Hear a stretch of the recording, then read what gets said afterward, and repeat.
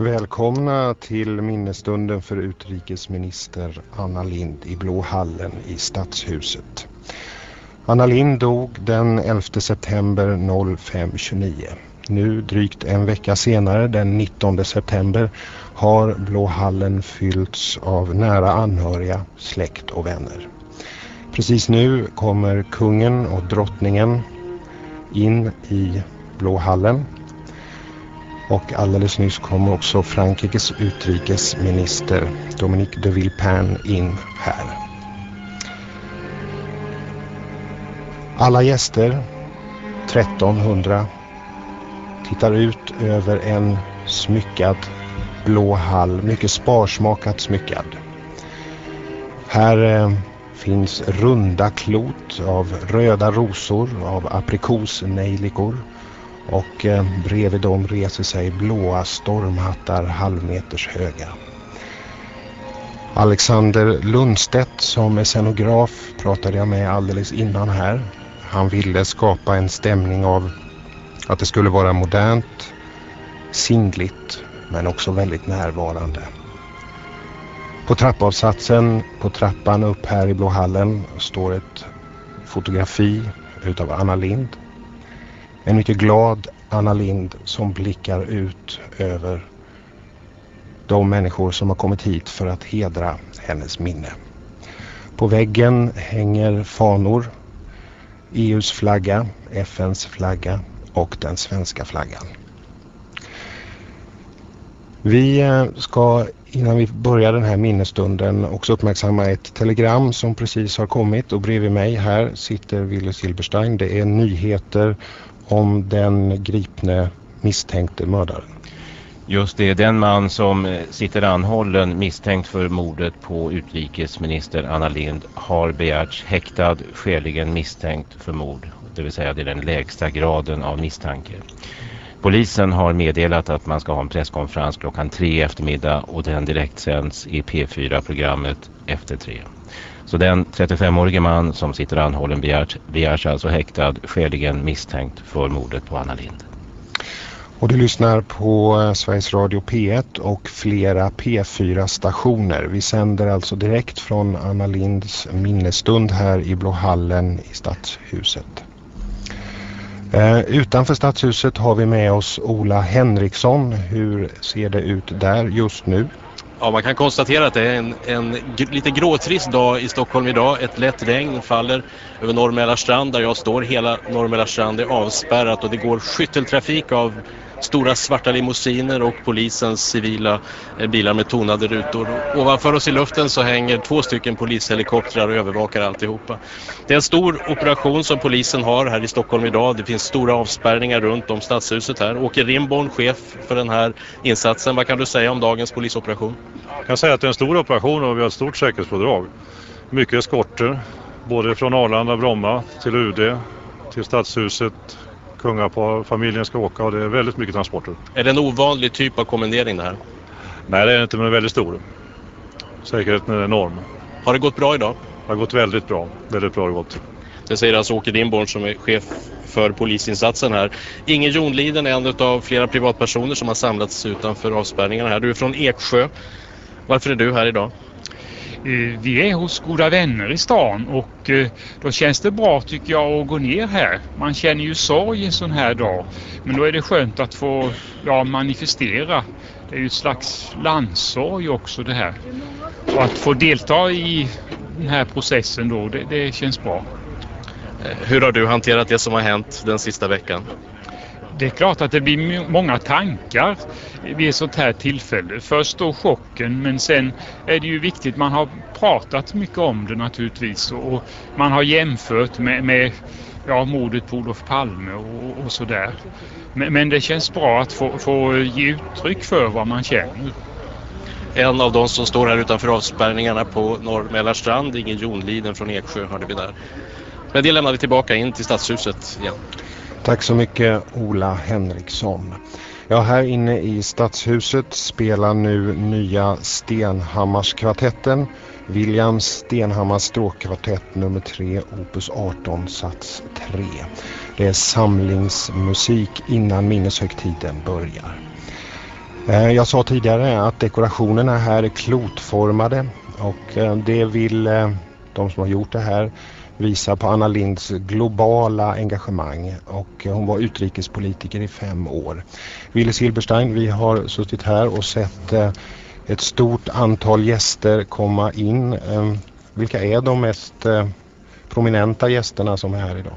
Ja, det är ju väldigt många kan man konstatera. Det är till exempel eh, Dominique de Villepin, Frankrikes utrikesminister. Jag har sett Joschka Fischer, utrikesminister från Tyskland. Här finns Javier Solana som är utrikespolitiskt ansvarig för eh, vid EU-kommissionen. Här finns eh, Jens Stoltenberg, här är Tarja Hallonen från Finland och ja, det är väldigt många. Det är en minst sagt imponerande samling och Colin Powell, USAs utrikesminister, hade ju planerat att komma hit men på grund av oväder på östkusten i USA så gick inte det. Mm. En av dem som ska tala här senare är ju Chris Patten, EUs utrikeskommissionär. Eh, vad tyder det här stora uppslutningen på? Ja, det är ju en bekräftelse på det som vi alla haft på känn ganska länge tycker jag. Att Anna Lind mot bakgrund av att hon representerade ett litet neutralt alliansfritt land så nådde hon väldigt högt upp i makthierarkierna på den internationella scenen. Hon kom alltså väldigt nära till exempel Chris Patten och Colin Powell och för, mot bakgrund just av att hon kommer från ett litet land så är det imponerande och säger en hel del om eh, hennes framgång i sitt arbete. Mm. Vi har kunnat se här att uh, alla är väldigt nedstämda och nu kommer statsminister Göran Persson med sin sambo Anitra Sten och nu kommer också familjen in, maken Bo Holmberg och eh, släkt och vänner träder nu in i Blåhallen och sätter sig längst fram.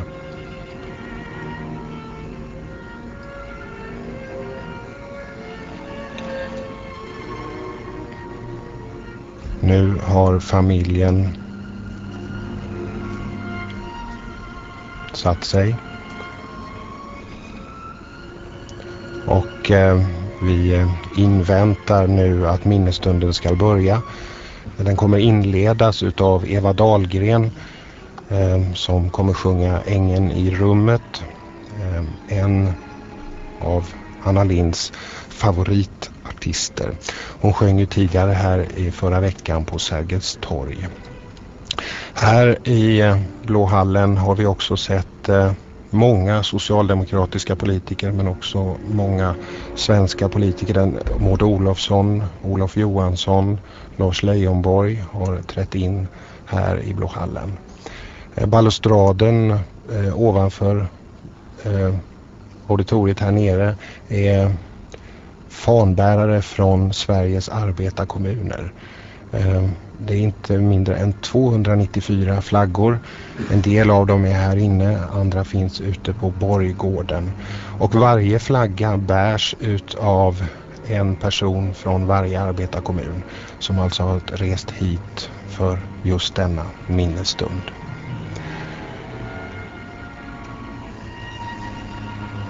Mm. Det program som vi kommer att få ta del av här har till stor del utformats av familjen i nära dialog med det socialdemokratiska partiet som är huvudarrangör för den här minnesstunden. Wille Silberstein, du har jobbat som utrikeskorrespondent i Bryssel i fyra år och eh, mött Anna Lind väldigt mycket. Vad, vad var ditt starkaste intryck? Alltså Anna Lind var ju en väldigt ovanlig politiker för hon var eh, inte minst gentemot journalister väldigt informell och eh, jag träffar ganska många olika statsråd och jag tror inte jag känt mig så avspänd med någon från regeringen som med Anna Lind. Hon var, hon var väldigt naturlig och eh, väldigt förstående för vårt sätt att jobba och vad vi behövde så jag tror att hon var, även internationellt, det vet jag eftersom jag varit i Bryssel ett antal år, hon var väldigt uppskattad för hon ställde upp även för internationella media mer än många andra gör. Så att eh, hon, hon blev en stjärna även för många journalister internationellt. Mm. Vi har fått ett program som är ett bildkollage utav Anna Lind som man kan se där Anna Linds hela livsgärning ryms. Eh, där ser vi Anna Lind både som världspolitiker och eh, som mamma och som politiker hemma i Sverige och i arbetarrörelsen. Det är bland annat en bild med Kofi Annan, FNs generalsekreterare. Hon står tillsammans med Göran Persson på en annan bild. Och någon bild där hon är tillsammans med sin man Bo Holmberg och en barnvagn med det första barnet. Och även en väldigt typisk bild från regeringsplanet där han sitter och jobbar, vilket hon ofta gjorde. Nu inleds minnesstunden alldeles strax.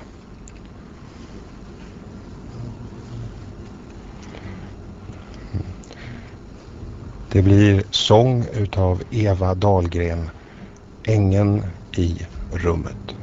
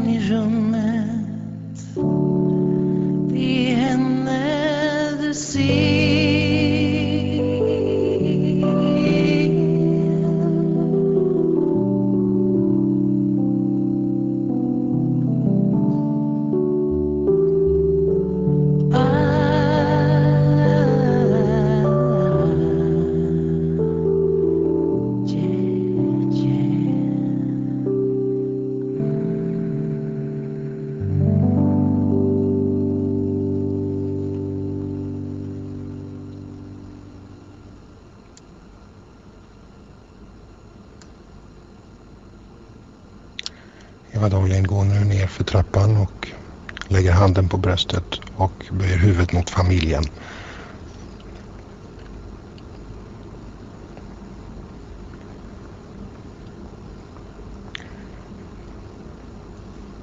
Det är nu dags för statsminister Göran Persson att tala.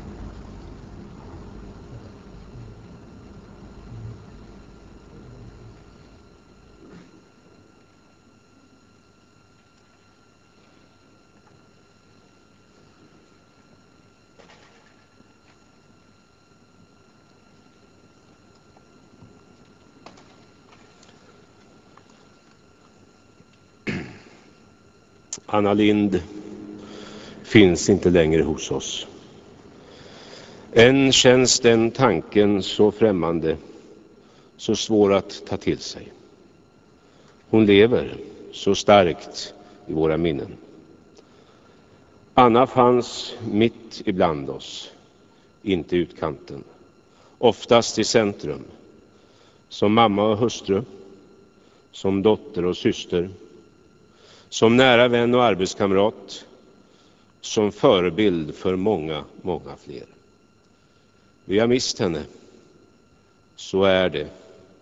Och den insikten gör så förfärligt ont. Eders Majestäter, Excellenser, kära vänner och alldeles särskilt Annas familj och närstående. Vi har samlats här idag för att dela sorgen. Men framför allt har vi samlats för att dela det ljusa minnet. Anna Lind med jackan fladdrande uppknäppt och ryggsäcken slängd över axeln på väg. Anna Lind med mobiltelefonen i ena handen och den andra gestikulerande i protest. Nej, där tror jag att du har fel. Anna Lind med den snabba kommentaren, en knyck på nacken och sedan skrattet. Stora, glada, rullande skrattet. Hon föddes år 1957. Knappt tre decennier senare, när Anna Lind fyllt 27 år, stod hon i talarstolen i Folkets hus vid Norra Bantorget. Hon tackade för förtroendet som nyvald SSU-ordförande, den första kvinnan någonsin. Om vi ska få demokratin att fungera i samhället och passiviteten att försvinna, sa hon, så är den första förutsättningen att människor kommer tillsammans och lär sig arbeta tillsammans för gemensamma mål. I den andan kom hon att verka som SSU-ordförande i sex år. Det var under de åren hon började utveckla sin talang att rakt på sak, under 15 sekunder, kunna formulera en distinkt åsikt framför en tv-kamera. Fler och fler fick upp ögonen för Anna Lind. När hon var 33 år och höggravid lämnade hon SSU-uppdraget. Hon beskrev för kongressen varför hon var socialdemokrat. Så här sa hon. Så sent som i morse såg jag när jag gick till mödravårdscentralen vad samhället gör för blivande barn och föräldrar i Sverige. Genom mödravård och barnavård, personlig omsorg och hälsovård. Därför vet jag varför jag är socialdemokrat. Hon fortsatte. Efter att ha tagit del av rapporter i tv och i tidningar från våra grannländer i Baltikum, efter att ha sett ansikten som präglats av vilja och längtan men också rädsla i ögonen efter åratals ockupation och kommunistiskt förtryck, vet jag varför jag är socialdemokrat. Och hon slutade. När jag ser gatubarnen i Latinamerika med smutsiga och undernärda ansikten eller prostituerade småflickor i Chile och Thailand vars enda dröm är att kunna leva en vecka till, vet jag varför jag är socialdemokrat. Så såg Anna Linds engagemang ut. Det fanns nära och det sträckte sig långt över gränserna. Både vision och vardag, sa hon själv. Och som var hon också som person. Anna Lind vägrade att välja mellan politiken och familjen. Hon valde både och. Hon visade att det går att leva så och att det väckte beundran. Också långt utanför Sveriges gränser. Det var nog också därför hon blev en så stark förebild för så många, inte minst för många unga kvinnor. Anna Lind förverkligade sin vision för världen i vardagen. Men Anna visste att det goda politiska ledarskapet krävde mer än de stora orden. V-ledamoten och kultur och fritidsborgarrådet Anna insåg betydelsen av att bevara närheten till alla dem hon företrädde i Stockholm och senare till Nyköpingsborna där hemma. Juristen Anna Lind insåg att en framgångsrik politiker måste behärska mer än utanpåverket. Att kemikaliepolitikens och Kyotoprotokollets paragrafer måste vara lika hållbara som visionen om det hållbara samhället. Anna var 37 år när hon blev miljöminister. Den försoning mellan socialdemokratin och miljörörelsen hon påbörjat redan som SSU-ordförande fick hon som miljöminister möjlighet att fullfölja och börja omsätta i praktisk politik. Hon fann det djupt ovärdigt, det moderna samhället, att låta nedsmutsningen fortsätta och förstörelsen pågå. De internationella uppdragen som miljöminister blev en prövning, men framför allt en framgång. Hon hade en slående förmåga att finna sig till rätta i vitt skilda sammanhang och vinna respekt bland människor i helt olika positioner varhelst i världen hon mötte dem. Så blev Anna Lindh Sveriges utrikesminister vid 41 års ålder med ett glödande internationellt engagemang sedan tonåren. Förebilden Olof Palme. En stark integritet och stort mod. Kom hon att bli en högt uppskattad och respekterad utrikesminister. Idag gästas Sverige av hennes vänner från alla jordens hörn. Det känns rätt och riktigt. För Anna Lindh förde inte bara Sveriges talan i världen. Hon förde också världens talan i Sverige. Kära vänner, låt mig läsa en dikt av Thomas Tranströmer. Några rader som jag vet att Anna tyckte om. De lyder så här. Inne i den väldiga romanska kyrkan trängdes turisterna i halvmörkret. Valv gapade bakom valv och ingen överblick. Några ljuslågor fladdrade. En ängel utan ansikte omfamnade mig och viskade genom hela kroppen. Skäms inte för att du är människa. Var stolt. Inne i dig öppnar sig valv bakom valv oändligt. Du blir aldrig färdig och det är som det skall. Jag var blind av tårar och föstes ut på den solsjudande piazzan tillsammans med Mr och Mrs Jones, herr Tanaka och signora Sabatini. Och inne i dem, inne i dem alla, öppnade sig valv bakom valv oändligt. Anna Lind trodde på människan. Hon trodde på människan som den fantastiska varelse hon är med en närmast oändlig kapacitet att växa och utvecklas. Anna trodde på människans inneboende kraft och förmåga men visste också hur lätt den kraften kan gå förlorad. Människan är ingen kyrka av sten där valv bakom valv står öppet. Människan måste erövra den, ett efter ett, och det går. Med rätt stöd kan människan gå genom valv, bakom valv, oändligt. Men människan kan också krympas, hennes valv raseras. Människan kan skärmas av från sina möjligheter. Anna såg det hända överallt. I en svensk skola, när ett barn blir mobbat och de vuxna inte ser. I ett flyktingläger i Afghanistan där medicinerna inte räcker. I Kosovo bland de våldtagna och skändade. I bruksorten när ytterligare uppsägningar är ett faktum. I vem som helst av oss när självförtroende och framtidstro viker. I alla frågor var människan utgångspunkten för Anna. Människans värde och rätt. De mänskliga rättigheterna var alltid hennes drivkraft. Kränkningar och ofrihet, det som kampen stod mot. Demokratin, alltid medlet. Människan, alltid målet. Så var hon i det stora. Så var hon i det lilla. Chosefri och full av omtanke om familj, vänner och medarbetare. Realistisk, men med en optimism som smittade. Hon kom med uppmuntran och kritik, alltid med samma värme. Hon brydde sig. Bosse, David och Filip.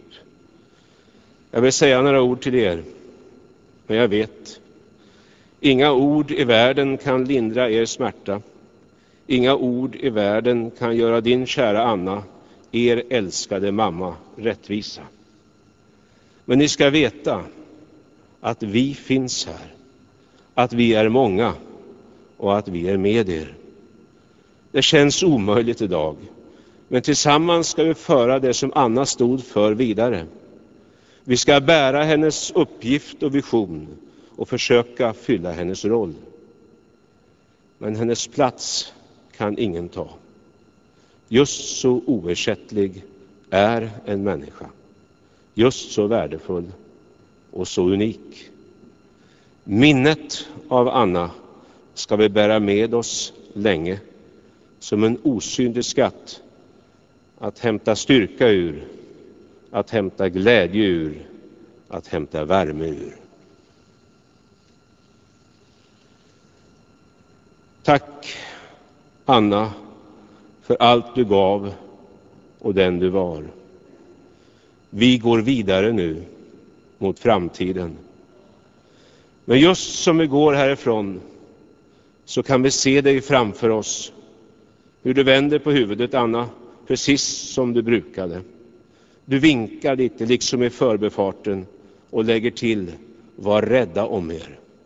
Och vi svarar vi ska vara rädda om oss.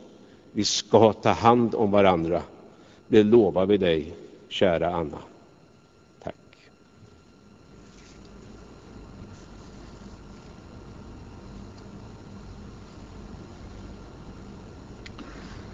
Statsminister Göran Persson stannar nu inför fotografiet av Anna Lind och böjer sitt huvud. Nu går han ner för trappan. En kammarorkester med musiker ur de ledande Stockholmsorkestrarna under ledning av Esa-Pekka Salonen kommer nu att spela Jean Sibelius, Melisandes död ur Pilas och Melisande.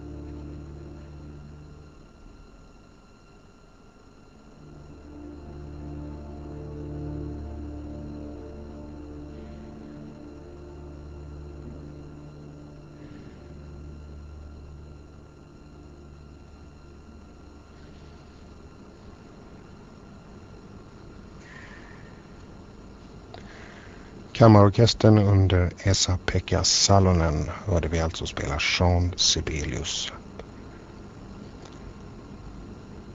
Nästa talare är Chris Patten, EUs utrikeskommissionär. Han arbetade intensivt tillsammans med Anna Lind och särskilt under Sveriges ordförandeskap. Han går nu sakta upp mot talarstolen och eh, stannar fotografiet utav Anna Lind. Chris Patten, EUs utrikeskommissionär.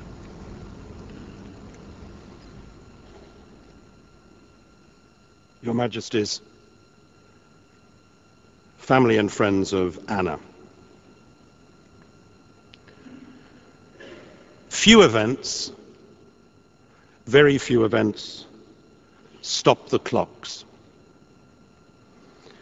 One such was the death of Anna Lind, a woman who loved the world and was loved by the world. When I read the tributes to Anna, the words of the famous and the words of those who are not famous, but whose lives she had touched, I was struck by one thing above all others joy at the memory of her own humanity, burst through the bonds of grief. Evil slouches past into the shadows, but what we all remember is the light. All who have written about Anna have touched on the qualities so familiar to those fortunate to know her. She was pretty and she was brave. She was witty and she was professional. She was charming and she was very, very kind. Perhaps undiplomatically, especially in this company, we should concede that the arrival of a foreign minister in a room does not necessarily lift the spirits. But with Anna, it was different. Blonde and smiling cheerfully, that knapsack referred to by the Prime Minister, full of official papers over her shoulder, she took her place at the conference table. To be with her, is it permitted to say this about a foreign minister? To be with her was invariably good fun. There are three points I want to make about Anna as we saw her in Europe. First, I have met no one in politics who more naturally and gracefully combined private and public life. Mother, wife, formidable politician, she took in her stride the pomposities of the chancelleries and never lost touch with the hopes held and the indignities suffered by men and women everywhere. No one was ordinary to Anna, so everyone was capable of being extraordinary. This attribute, more maybe than any other, meant that she turned politics into an honorable adventure. Second, Anna had no problem in using the words ethics and foreign policy in the same sentence. She wasn't naive she knew that we live in an imperfect world. But she also knew, and in a thoroughly professional way, with a thoroughly professional team of colleagues, she demonstrated that it is invariably right to try to do the right thing. Morality and expedience are surprisingly often close neighbors. So I witnessed Anna battling away with tyrants and cynics and bullies on issues of human rights and democracy, which others would too often tiptoe past. She made her point tenaciously, while her charm invariably contained the fallout. Third, how often does a foreign minister represent all the best qualities that the world outside associates with their country? For us all, Anna was Sweden, and we hope to our very marrow that Sweden will go on being Anna.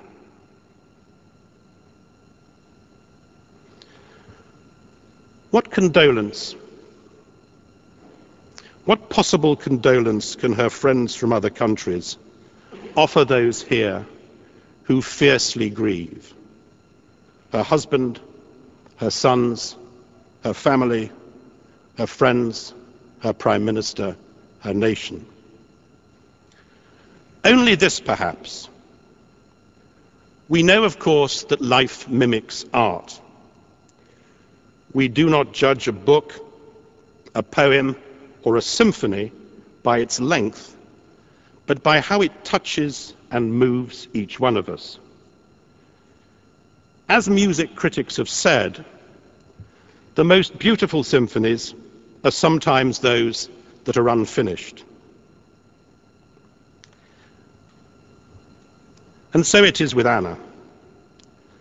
The music will echo, and the words and the memories will cascade down the years.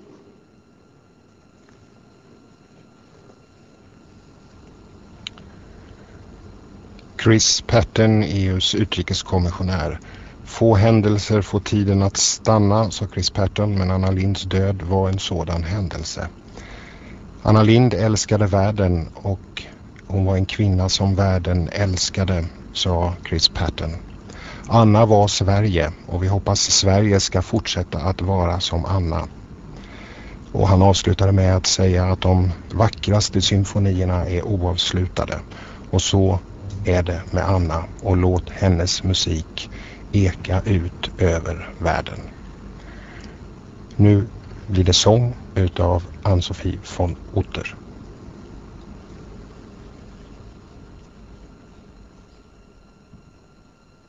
Amen.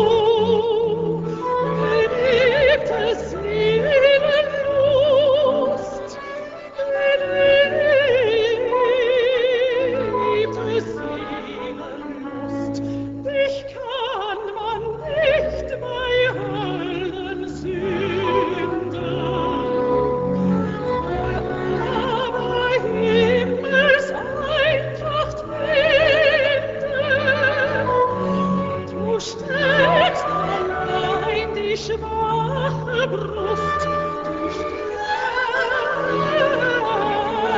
allein die schwache Brust, vergnügte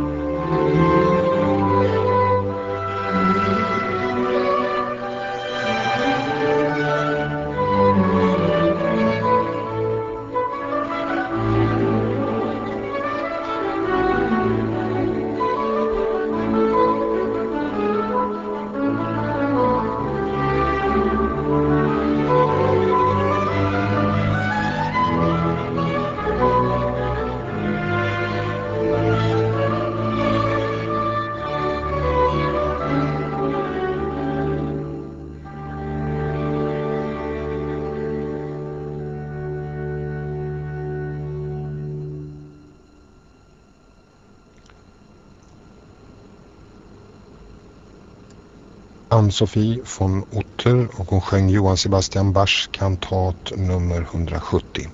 Du lyssnar på Sveriges Radio P1 och flera P4-stationer och vi sänder direkt från minneshögtiden till minne av Anna Lind. Nu kommer Nalin Pekgul att tala. Hon är det socialdemokratiska kvinnoförbundets ordförande.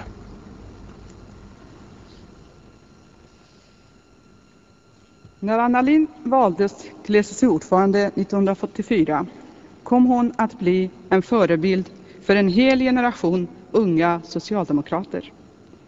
Efter de bittra och dogmatiska strider om självförvaltning kontra statssocialism som hade utkämpats i SSU i början av 80-talet var Anna Lindh den som lyckades knyta ihop trådarna och föra den ideologiska diskussionen vidare.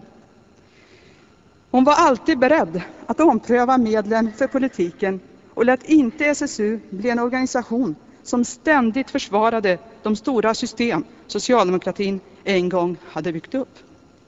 Men hon frågade sig alltid dessa år, då valfrihet var på allas läppar, om valfriheten verkligen skulle komma alla till del eller bara de som var bäst på att hävda sig. På samma sätt som hon frågade sig om de stora systemen alltid fångade upp de mest utsatta. Anna Lindh var en av de första som på allvar lyfte fram miljöfrågorna inom socialdemokratin och 1994 blev hon miljöminister. När jag i början av 90-talet fick förmånen att jobba politiskt tillsammans med Anna Lindh gjorde hennes framsynthet stort intryck på mig. Hon såg problem och tog tag i dem långt innan någon annan satt upp dem på den politiska agendan. En fråga vi diskuterade mycket under senare år var det att det lever så många muslimer i Europa som inte känner att de riktigt hör till samhället i det land de lever. Anna Lindh betraktade islam som en del av den europeiska kulturen och försökte alltid lyfta fram de progressiva och samhällstillvända muslimska krafterna för att inte religionen skulle utnyttjas för att skapa motsättningar. Som utrikesminister var Anna Lindh van att samarbeta över kulturgränser för att lösa allvarliga problem. Och hon fann också vägar att kombinera sitt engagemang för integrationsfrågan i Sverige med världspolitiken. Hon blev känd i världen för sin kamp för mänskliga rättigheter och tillhörde dem som inser att mänskliga rättigheter även omfattar kvinnors rättigheter. När Anna Lindh träffade politiska ledare för länderna i Mellanöstern tog hon inte bara upp kvinnornas situation i de länderna. Hon begärde att de skulle ta avstånd från kvinnoförtryck och hedersrelaterat våld så tydligt att signalen gick fram, gick fram till deras forna landsmän i Sverige. Vid sidan av den lysande politikern Anna Lindh kommer jag alltid att bära med mig minnet av Anna som en person med stor humor och distans till makthavaren Anna Lindh. Anna besökte mig när jag hade fått mitt första barn och blev orolig för att jag inte skulle få den vila jag behövde. Dagen efter skickade Anna en lista med anvisningar för mina gäster som hon skämtsamt formulerade som ett regeringsbeslut. Punkt 1 på listan löd Besökare får endast stanna 5 till 30 minuter. Punkt 2. Besökare bör ta med sig eget kaffebröd om de vill ha kaffe. Punkt 3. Besökare bör inte krama på barn och mor så eventuella smittor överförs. Jag förlorade en stora syster i förra veckan. Det socialdemokratiska partiet förlorade en ideolog och framtida ledare. Sverige förlorade en av sina viktigaste politiska företrädare. De förtryckta i världen förlorade en stark förkämpe.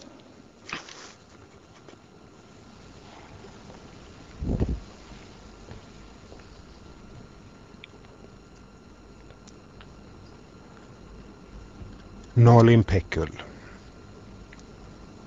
går sakta ner för trappan här i Blå hallen i Stadshuset.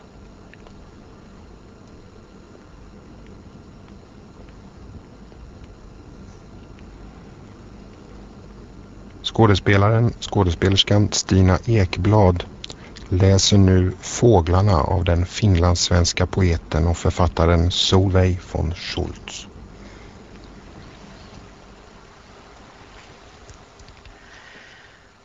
O, låt mig bli en förelöparfågel. Nattblå, men med ett bröst av pärlemor. Och låt mig störta främst och dränkt i dimman få ropa ut Jag tror på ljus. Jag tror.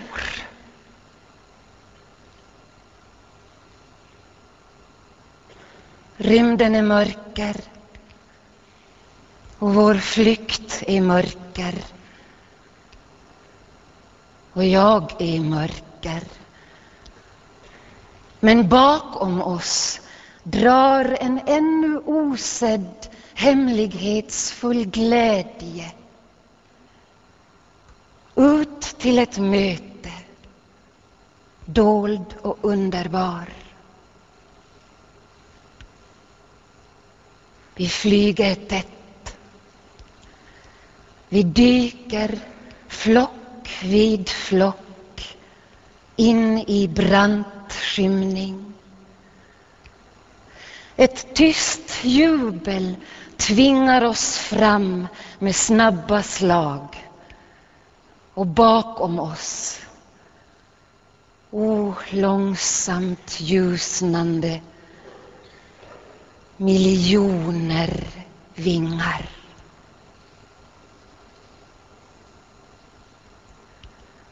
Längst borta är det milda skenets hav.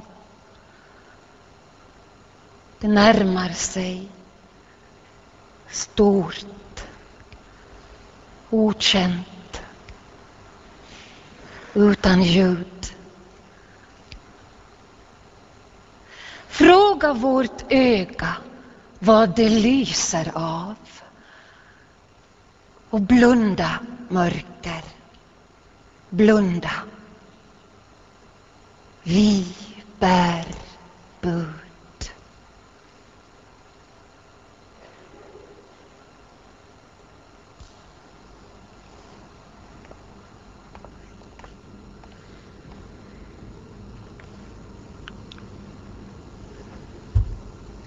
Greklands utrikesminister Georgios Papandreou kommer nu att tala och därefter följs han av SSUs ordförande Ardalan Shekarabi.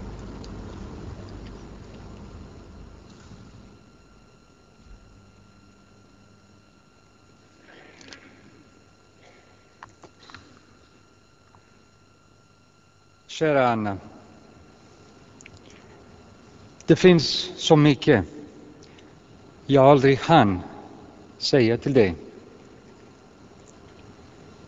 Minns du förra veckan i Rival del Garda med alla våra europeiska vänner och kollegor? Minns du förra veckan vi åkte till Norrköping? Vi talade med eleverna på Kungårdsgymnasiet. Vi gick till Grekiska förening och åt lunch. Vi diskuterade om vårt gemensamma europeiska hem. Du berättade om dina pojkar som tittade på fotbollsmatchen mellan Sverige och Grekland. Minns du förra veckan när vi tog avsked från varandra på Medborgarplatsen?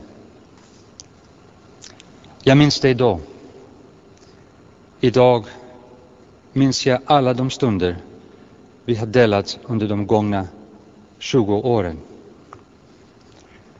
Jag minns ditt sätt att se människorna. Jag minns ditt sätt att möta människor med kärlek, med respekt.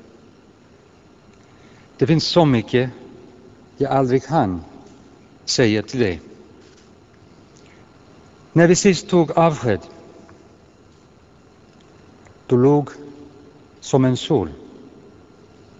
Det där leendet, det levande leendet, fyllt av kamplust och vilja. Det är så mycket jag skulle ha velat säga till dig, Anna. Men du vet, vi politiker tar oss inte alltid tid att sätta ord på våra känslor. Men du var ett undantag. Ditt väsen utstrålade värme. Du rörde vid våra hjärtan, våra sinnen. Du vågade. Du vågade vara uppriktig. Du vågade vara trogen din övertygelse. Du kämpade för öppenhet, närhet och allt du gjorde, gjorde du med passion. Du symboliserade Sverige, det Sverige vi beundrar. Det Sverige som jag lärde känna och, vi, och som vi så ofta pratade om. Du vet, då jag var ung pojke i exil, som så många andra flyktingfamiljer från alla världens hörn, som sökte en oas att kunna andas i. Ett Sverige präglat av demokrati och solidaritet. Ett Sverige av fred och frihet, jämlikhet, medmänsklighet. Ett Sverige som har bidragit till det nya demokratiska Europa från Baltikum till Balkan. Det är ingen tillfällighet att vi alla är samlade här idag från världens alla hörn dina vänner från hela Europa. Det Europa du värnade om. Idag samlas vi här. Vi hedrar Sverige, det land som du så väl representerade. Men Anna, vi är här för dig. Det är dig vi sörjer. Vi saknar ditt skratt, ditt mod, din styrka. För dig var kampen för mänskliga rättigheter en personlig kamp. Du vågade ta striden för dina ideal i vardagen. Du vågade vara sann. Du hade en förmåga att lyckas och att få oss andra att vilja verka i din anda. Anna, om du kunde gå på Stockholms gator just nu, tala med dina landsmän, som du alltid gjorde med djup respekt och ömhet, så skulle du finna sorg och smärta, kärlek och uppskattning. De bär blommor till dig, Anna. De är omtumlade och skakade. Och de frågar, vi frågar, varför? Varför? Varför igen? Det hör till våra mänskliga natur att söka svar, att försöka förstå hur våra liv kan få sådana tvära vändningar. Att försöka begripa det obegripliga, att fatta det ofattbara. Många undrar, är vi för naiva? Är vår demokrati alltför sårbar? Svåra frågor i en värld fläckad av våld och orättvisa. I ett gravtal försökte en av våra europeiska förfäder, Perikles, förklara detta.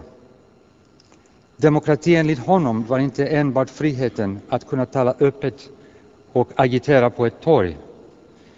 Det var framför allt friheten att kunna känna tillit till sina medmänniskor.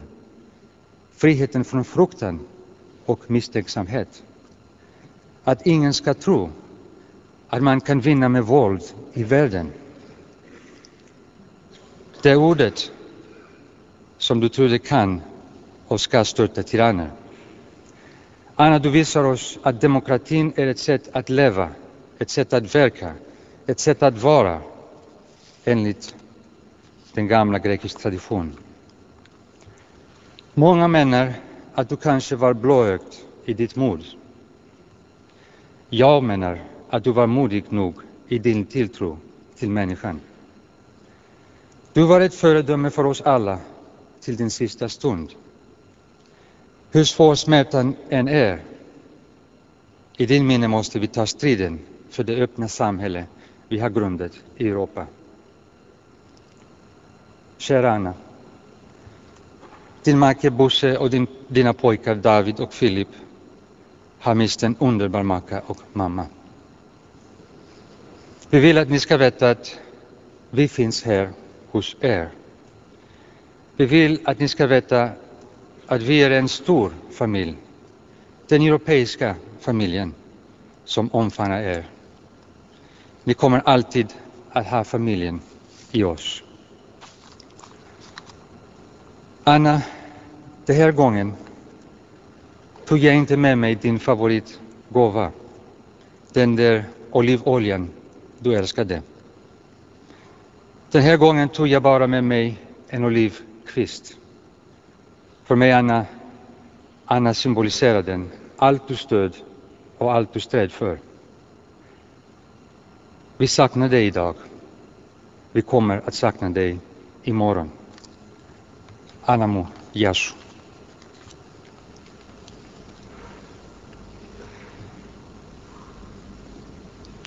Willy Silberstein, det var ett mycket speciellt förhållande mellan Papandreou och Anna Lind. Absolut, de träffades ovanligt mycket även med europeiska mått mätt och Georg Papandreou var ju med i den svenska folkomröstningskampanjen och man såg också att de verkligen tyckte om varandra så de hade ett väldigt nära förhållande. Nu hör vi SSUs ordförande Ardalan Shekarabi.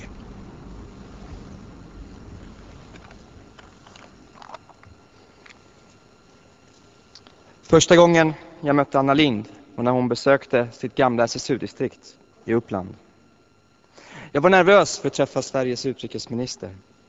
Men Anna log sitt fantastiska leende och bad mig berätta om situationen i Iran. Hon skulle snart åka dit. Hon var uppriktigt intresserad och visade ett djupt engagemang. Anna Lind spelade inte. Hon brydde sig om. Hon var ärlig. Så mötte jag och många andra SSU-are Anna Lind. Hennes engagemang för mänskliga rättigheter och demokrati färgade min och ungdomsförbundets syn på socialdemokratin. Anna Lind gav oss hopp och tro på vår förmåga att forma framtiden tillsammans. Hon brann för uppgiften att bygga ett samhälle för alla. Hon var socialdemokratins radikala röst i världen. Anna, vi är då stolta, stolta över socialdemokratin. Det politiska engagemanget är en rättighet i Sverige. Men det är också en skyldighet. En skyldighet mot alla de som kämpat före oss och alla som fortfarande lever under förtryck.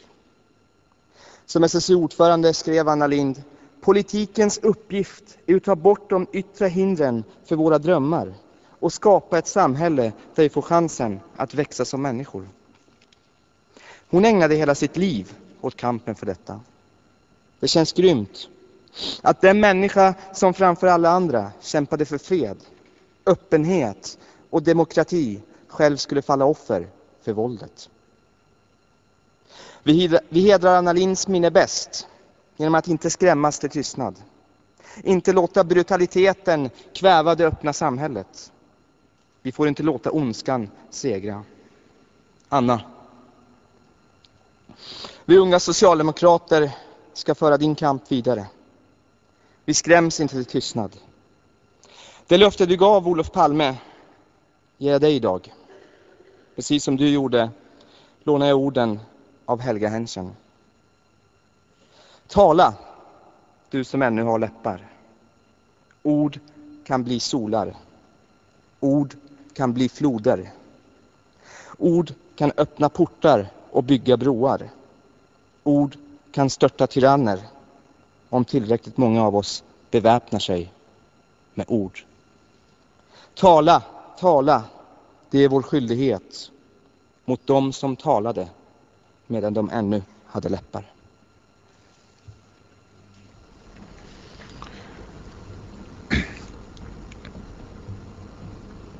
Ardalan Shekarabi avslutade med en dikt av Helga Henschen som också är tryckt på det programblad som har delats ut här i Blå hallen.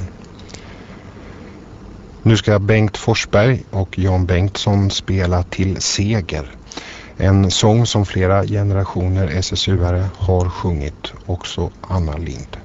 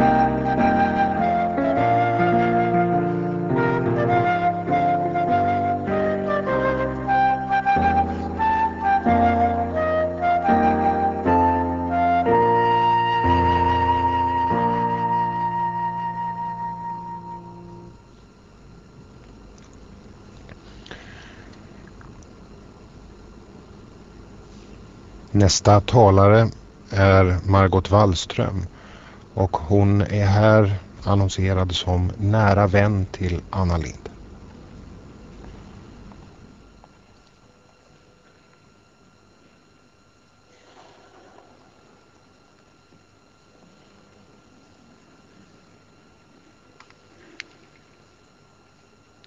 Vilken fantastisk mamma ni hade, David och Filip. Hon var nämligen den bästa vän man kunde tänka sig och som jag kunde tänka mig. Hon sa vad hon tyckte, ärligt och rakt på sak. Hon inspirerade oss andra med skarpa analyser och ett starkt engagemang. Hon var en fighter. Motgångar och besvikelser kunde inte knäcka henne. Så var hon varm och omtänksam i allt. Från djupa samtal till vykortshälsningar med ett sms-grattis eller ett glatt fniss i telefonluren. Med stolthet kan ni bära hennes minne genom livet. Ni lånade ut er kloka, vackra mamma till världen och vi är så tacksamma för det. Som politiker hann Anna uppleva och uträtta oerhört mycket. Men vet ni vad hon var mest stolt över? Jo, er. Två fina pojkar som fanns i hennes tankar, alltid och överallt. På så sätt var ni i själva verket huvudpersonerna i FNs generalförsamling. Så fanns ni med under EUs toppmöten. Och på S-möte i Nyköping eller Karlstad så var ni de viktigaste deltagarna för Anna bar er inom sig och talade också gärna och ofta om er, det har ni redan hört. Jag vet att dagarna blir tunga nu. Sorg, det är som att gå på nattgammal is. När den tunna ytan av självbehärskning brister så väller gråten och vanmakten ut. Kan det finnas något gott i livet när detta har drabbat oss? Men jag tror att Anna skulle ha sagt så här. Framtiden skapar vi tillsammans och förminska inte din roll. Det goda måste vi finna inom oss och dela med oss av. Aldrig att vi ska låta det här meningslösa våldet segra. Kärleken är det som vinner över allt. Och visst har vi känt så mycket kärlek den senaste veckan. Och hur svårt det än är, hur omöjligt än att tro, så vänder det någonstans. Där framme någonstans viker sorgen. Tidigare därför att minnen efter Anna är så ljusa. Hon lever kvar hos oss som den hon var och det som hon trodde på. Och David och Filip, ni kan fortsätta att prata med henne. För hennes röst kommer att finnas inom er. Så är det. Och ni har en alldeles egen Anna, er mamma. Och det som ni hade tillsammans, det kan ingen ta ifrån er. Och ni har rätt att också hålla det för er själva. Glädjen har alltid ett sista leende. Kärleken har lämnat en doft. Någonstans dröjer det kvar. Någon förvarar det djupt i sin saknad.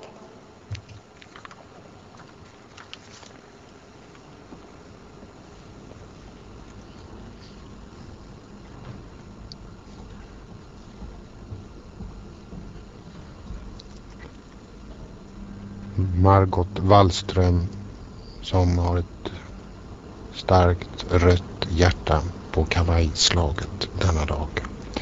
Kammarorkestern under ledning av Esa-Pekka Salonen spelar nu Franz Schubert symfoni nummer 5.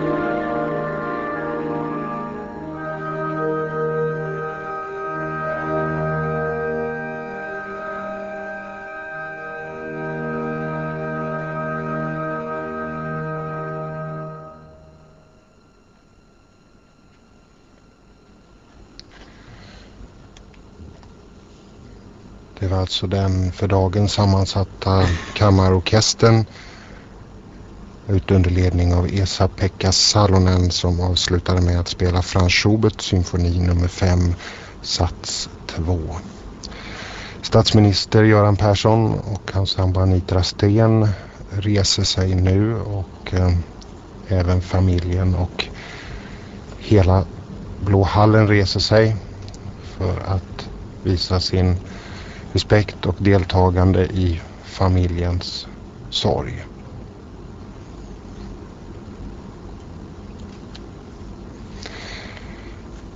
Minneshögtiden till minne av Anna Lind börjar nu rundas av och eh, vi har varit med om ett både personligt och mycket högtidligt avsked här i Blåhallen.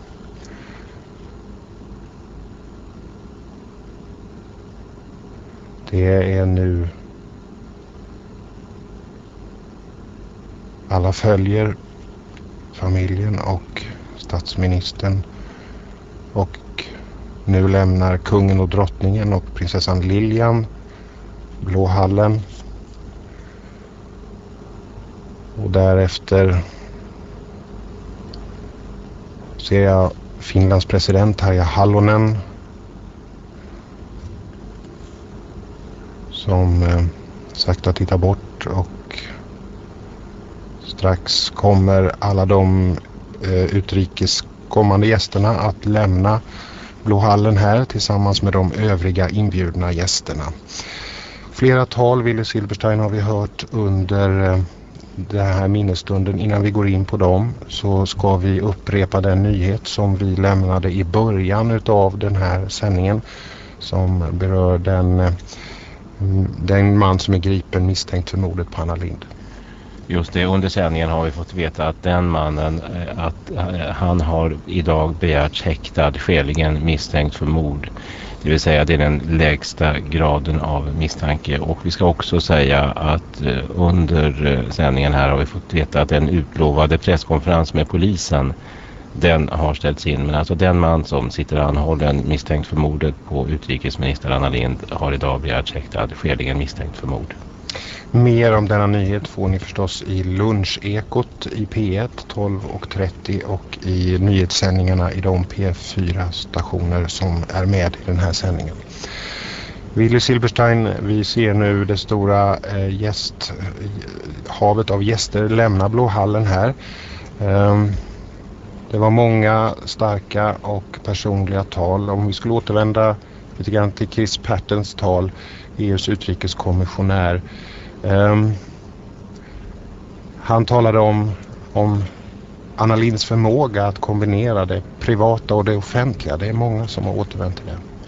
Ja, och det, det, är väldigt ovanligt att politiker på den nivån vågar vara lite personliga. Ofta är det ju ändå att de är, Eh, jag ska inte säga som robotar, men alltså de skalar bort väldigt mycket av sitt personliga. Men Anna Lind var ju annorlunda på det sättet och det är ju väldigt många som uppskattar det. Det märkte man ju på talen idag och det har jag noterat i, när jag var korrespondent i Bryssel och hörde eh, andra utrikesministrar och även andra som arbetar i EU-apparaten att hon skilde ut sig och eh, det var någonting som uppskattades.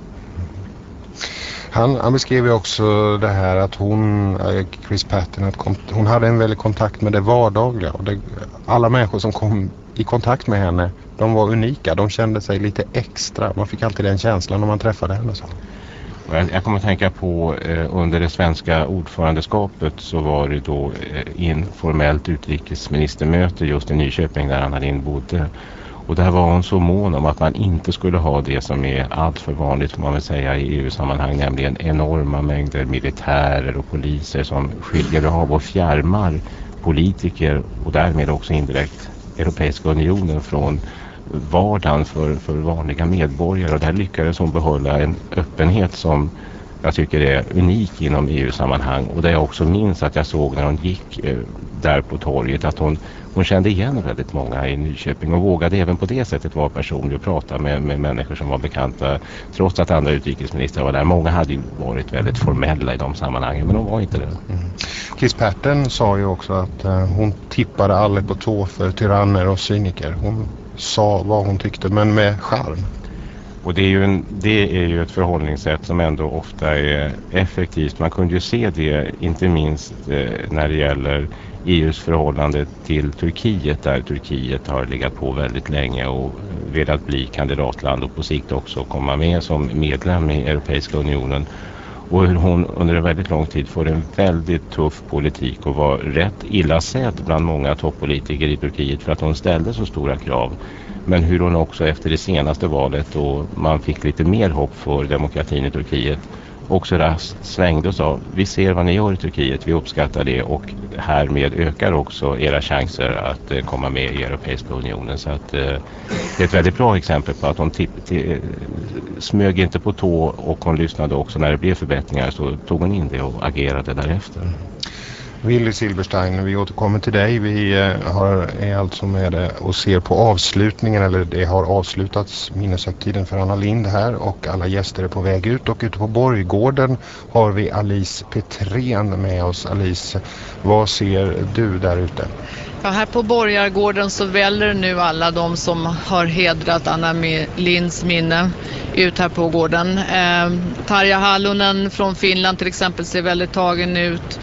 Margot Wallström. Alla står i små grupper och väntar på sina bilar. Längs väggarna här så står alla de fanorna som har varit för, från de drygt 280 arbetarkommunerna. De står som vissna röda blommor längs väggarna här.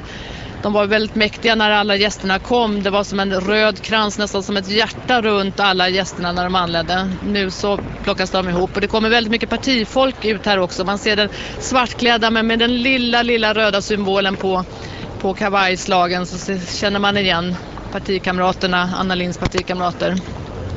Är det mycket säkerhetspådrag där du står Alice? Det är många polisbilar. Det är ju en tusen poliser allt som allt inkallade denna dag runt om i Stockholm. Helikoptrarna smattrar ovanför och om jag tittar ut över Riddarfjärden här så kan jag se polisbåtar som patrullerar vattnet. Det är helt avstängt och hela Stockholm är ju mer eller mindre helt förlamat idag. Eh, med alla dessa utländska gäster som ska ta sig fram och tillbaka från Arlanda. När Olof Palme begravdes så var det väl en 700 poliser. Idag är det 1000 poliser med piketbilar från Malmö och Göteborg och så vidare som är inkallade. Det är ett stort säkerhetspådrag och, och eh, det är naturligtvis så med så många utländska höga potentater med.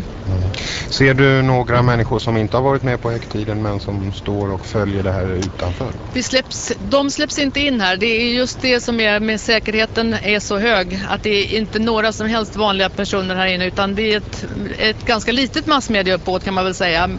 Eh, fotografer, många fotografer. Eh, många utländska journalister som står där men vi är faktiskt ganska få som har släppts in så här långt in på Borgargården. Men nu rullar det in massor med bilar så nu ska alla, eh, alla de här gästerna, eller rätt sagt 350 av de 1300 som har varit med ska ju vidare till utrikesdepartementet för en lunch. De Tack. utländska gästerna. Tack så mycket Alice Petrén utanför Stadshuset. Vi ser nu Moderaternas avgående partiledare Bo Lundgren eh, sakta gå ut ur Blå hallen här och eh, såg också Centerpartiets Maud Olofsson. Wille Silberstein, eh, vi har varit med om en, en sorglig men samtidigt eh, har det funnits hopp i den här minneshögtiden. Ja, det är ju lite märkligt nästan att en sån här tillställning kan vara så livsbejakande som den ändå har varit. Jag tyckte till exempel att det var väldigt starkt och, väldigt bra när EU-kommissionären Margot Wallström direkt vände sig till Hanna Linds två söner och sa att även om det inte känns så nu så kommer allt det här att vända att ni kommer att finna lust i livet igen och att det finns en framtid även om det känns så tungt nu. Och det var väldigt skönt tycker jag att höra så konkret och så tydligt när de vände sig till dem. Så att det har varit en väldigt värdig och eh, stark eh, upplevelse tycker jag det här. Mm. Man kan också slås av här var många internationella gäster men det blir också väldigt påtagligt att Anna Lind pratade om världen här i Sverige och drog in världen i partiet. Inte kanske för att hon personligen men hon, hon drev ju den saken när man ser Ardalan Shekarabi och Nalin Pekul Nalin Pekul som är kurd och eh, Ardalan som är iranier stå här och tala. Det blir, det blir en bild av det internationella Sverige. Ja och ett eh, nytt Sverige ändå där det tack och lov ändå har kommit så långt så att personer från andra länder och kulturer är en naturlig del i, i det svenska samhället. Det har ju kan man nog tycka tagit väldigt lång tid. Men att nu har vi ändå kommit en bra bit på väg även om en hel del också återstår. Och då är det väldigt skönt att kunna se, som du säger, ett program där det finns också sådana personer som är med och talar vid sina tillställningar. kan också märka att Nalin Pekul eh, så att säga, vänder sig ut till en internationell församling och talar om, så att säga, om islam och eh, den progressiva samhällsorienterande islam. Och det är ju i EU-sammanhang eh, viktigt tycker många. Det finns ju en del som anser att Turkiet egentligen inte hör hemma som eh, EU-land därför att det är så muslimskt dominerat och det var väl ett eh, viktigt inlägg som Nalin Pekul gav i, i den bemärkelsen. Så som man förstod väldigt väl hur tungt detta var för henne. Minnesstunden, vi ska avrunda härifrån minneshögtiden till minne av Anna Lind. Ehm, begravningen sker i familjens krets i morgon lördag. Och ehm, härifrån stadshuset är det nu nästan tomt och på väggen så är Anna Linds namn projicerat på en blå botten och vi ser hennes varma leende på fotografiet på trappavsatsen på trappan här i Blåhallen omgiven av tända ljus. Och det blir den sista bilden här ifrån Stadshuset idag.